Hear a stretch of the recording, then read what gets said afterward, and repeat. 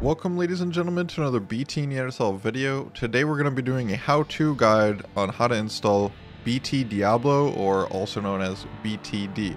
So let's get into it. What we got to do is we got to go to github.com slash BT Neanderthal slash BT Diablo. You can go and find the link in description down below.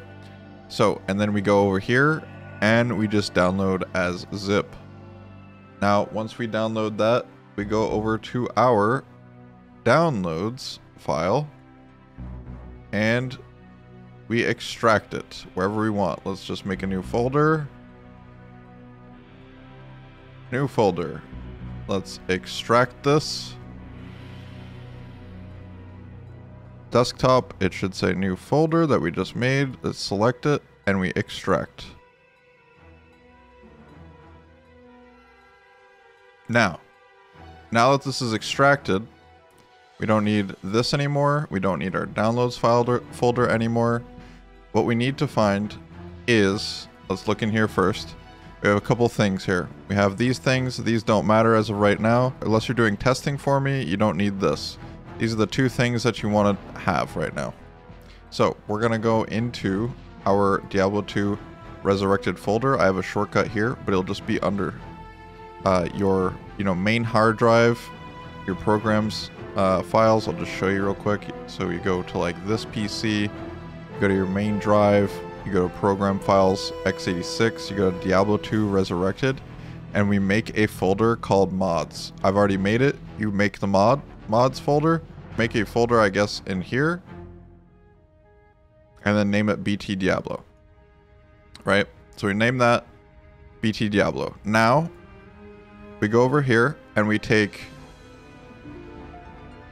we take bt diablo.mpq and we just paste the contents in here.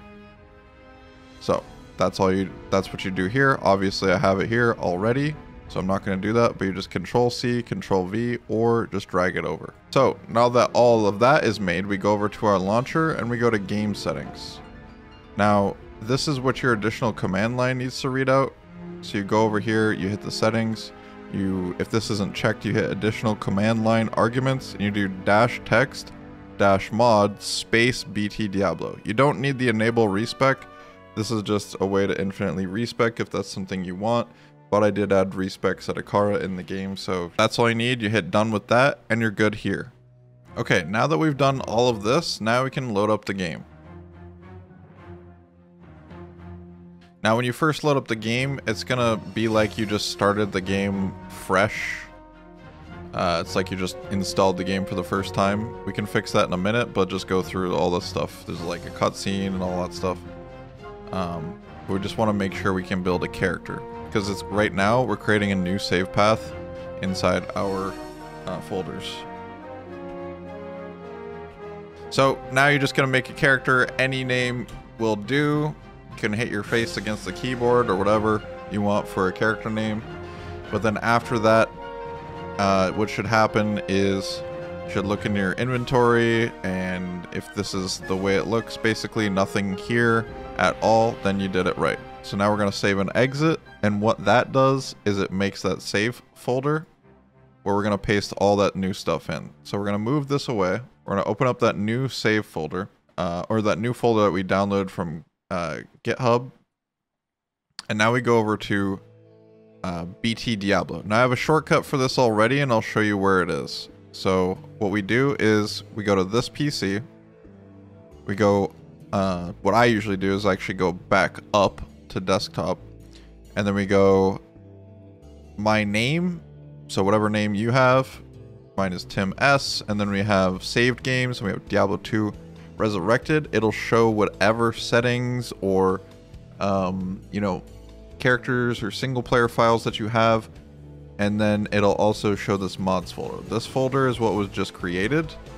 What I highly recommend doing is just copying these two things over, the custom key and settings. These are the settings that allow uh, the regular Diablo 2 settings that you've worked hard on to be in the mod. So we can just paste this in, paste it into BT Diablo, and it'll overwrite the previous settings, which is, you know, those are your settings from Diablo 2 Resurrected, and now it's in the mod.